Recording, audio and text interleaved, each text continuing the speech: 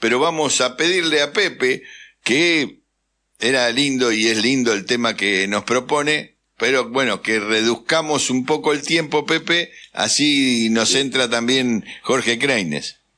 Bueno, aquí estamos. Disculpa por la llegada tarde y andábamos con este todavía con un problema de esas gripes que andan dando vuelta que son este junto con los mosquitos creo que las manda Miley, digamos. Sí, sí, sí, sí. Bueno, tenemos todas las eh, plagas.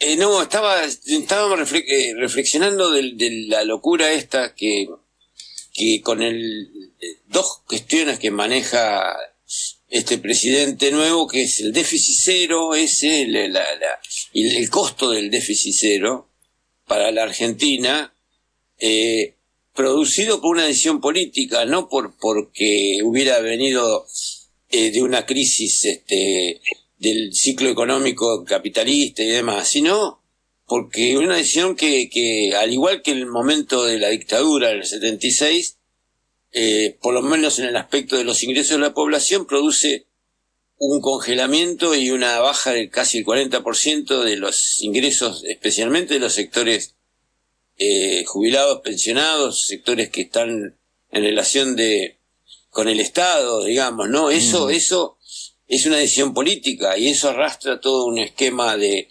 eh, dificultades en todas las áreas de la economía y justamente eh, Ayer hubo movilizaciones en todo el país de las personas con discapacidad, por lo menos en las grandes capitales. Pues nosotros tenemos un programa de casi no hay casi no hay sectores que no estén afectados, que es muy parecido a lo del golpe militar del 76 y Martínez de Oz y el mismo discurso ideológico y la misma Yo creo que es un poquito más profundo, Pepe, porque lo que dijo ayer demuestra que él es consciente de que hay gente que está pasando hambre y que va a pasar más hambre los eh, milicos dijeron cualquier cosa contra la guerrilla, contra la izquierda, contra los montoneros, el ERP, todo lo demás. Que ayer la repitió, dicho sea de paso, la Petri y, porque era el día del ejército. Pero bueno, no nos metamos con eso, si no nos vamos a ir por ahí. Este, digo, pero decir eso, que hay gente que, que no se va a morir de hambre porque cuando tenga hambre algo va a hacer. Digo, eso es tomar conciencia. Yo no lo quiero criticar como un loquito, como escucho, sino que el tipo es consciente de que está produciendo ese efecto. Bueno, y ese efecto tiene un boomerang para él, ¿eh? porque no, no, no es este gratis que la gente reaccione para salvarse de morirse de hambre. Y, para qué lado va a reaccionar.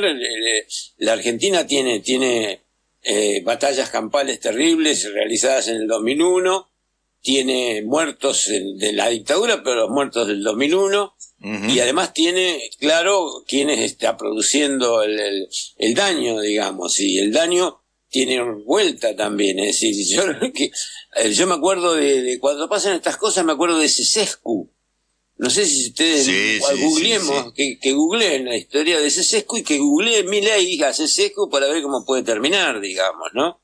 Este, porque las imágenes de los dictadores este, colgados de los pies este, están, en y aunque no sea dictador, la provocación que está haciendo sobre la historia argentina y sobre el pueblo es muy brutal, porque decir que, eh, digamos, está llamando a la prácticamente a que se defienda como puedan los que se van a morir de hambre. Entonces, eh, como puedan, tiene muchas aristas, digamos, y la verdad es que no es que no están sucediendo muertes, ¿eh? porque a mí me impactó mucho la muerte de la, de la turista alemana por faltante de, guarda, de, guardaparques, en, guardaparques en, San Juan. En San Juan, sí, se muere porque se muere porque no estaban los guardaparques haciendo el registro de a dónde estaban los, o si no la dejaban pasar, por ahí sí estaban, ¿no? Entonces, eso por un lado, por otro lado, los, la falta de los eh, eh, medicamentos oncológicos, se están muriendo los que le faltan esos. O sea, están matando en este momento. Entonces. No, es así, es así. El, nomenclador para las personas con discapacidad están tirando por abajo un decreto por el cual este, liberan ese nomenclador. Y yo ayer decía una frase que para mí es, hay, hay que hacerla así. Hitler mataba, mató 250 mil personas con discapacidad. Hitler este muchacho los deja morir.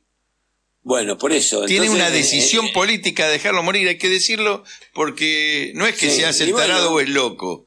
El tipo es. El tema es ese, no es casual, yo digo, ¿no? Porque parece fantasioso, pero no es casual el portaaviones norteamericano pero Claro. No, no es casual que eh, se agudice toda la, la, la parafernalia de eh, buscar enemigos este, internos y, y el espionaje y todas estas cosas que están saltando. Es decir, estamos entrando en una zona que, que, ya nos llevó, por ejemplo, la locura de Menem en su momento de participar en la guerra de contra Irak, trajo consecuencias internacionales y a dos atentados gigantes en la Argentina. La locura esta de participar en el medio de un ajuste popular muy terrible al pueblo, este, eh, participar en una alianza de los malos de la historia de la humanidad en este momento, dos, una potencia belicista en un mundo multipolar, que, que no es el mismo de la hegemonía de, Estados Unidos de otras épocas, en esa alianza Argentina, Israel, Estados Unidos, es, es para que nos involucren en cualquier eh, aventura bélica de esta gente y, y, yo creo que este es capaz porque eso incluso le favorecería la polarización interna y demás. Entonces hay que avisarle a los compañeros, a los militantes, que preparémonos para situaciones muy jorobadas, porque no, no tiene límite este, esta persona y además está convencido de que es un líder mundial el de la ultraderecha. Entonces, el experimento argentino va a ser muy parecido al de Ucrania, eh, muy parecido a, a lo que está pasando ahí, eh, a un Zelensky que vino a la Argentina, no es casual que haya venido.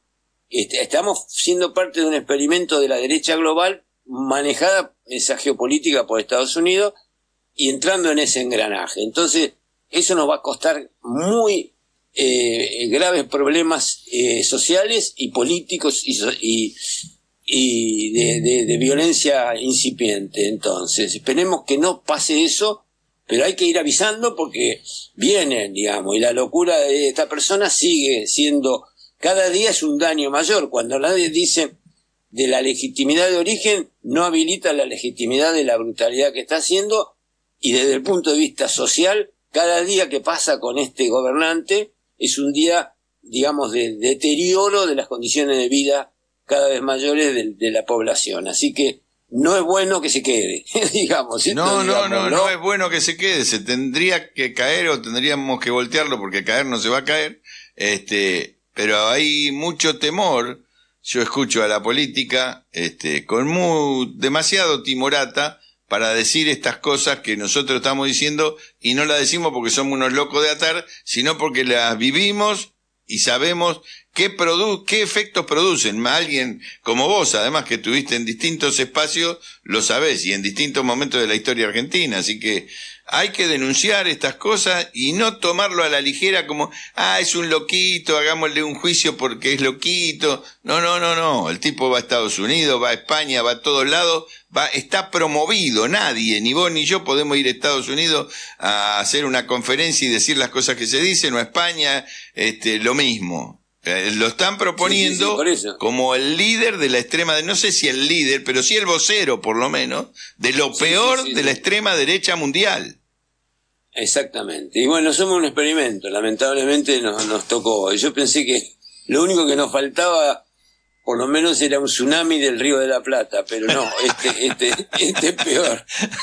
Este, este es peor, digamos. Este es peor porque es producto de la actividad humana. Así que eh, tratemos de evitarlo, digamos. Vamos a ver que no dure mucho. Así que bueno, bueno, eh, con esto más o menos este terminamos la visión lamentable de esta semana. Esperemos que no salgan no la ley base ni el DNU, que se caigan de una vez por todas, si podemos. Y si no, veremos quiénes son los traidores que andan firmando. Sí, sí, ya tenemos el de Entre Ríos que, que, que subió por, por Unión por la Patria, digo pueden pasar muchas cosas de acá. Sí, sí, sí, sí. Así que no hay que confiarse, hay que estar alerta, hay que movilizar. Este, aunque falte una conducción política que vaya para ese lado, somos muchos los que estamos alentando esto. Ayer hubo una movilización de las pequeñas y medianas empresas, con FIPCA, bueno, hay que alentar todo ese tipo de movilizaciones, recién hablábamos con los compañeros de aerolíneas, este, que también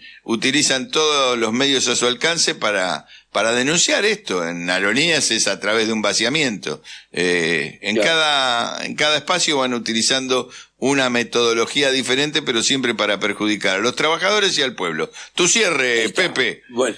No, esto, digamos, no, no, memoria, verdad y justicia, memoria de lo que está pasando ahora para que no quede impune, nada más esto, eh, prepararse para eso, para que no quede impune lo que está pasando. Ese sería la, el mensaje. Muy bien. Eh, Pepe. Nada más, entonces, gracias. Hasta la semana que viene y, gracias. No, no, no, igual queríamos tener tu voz.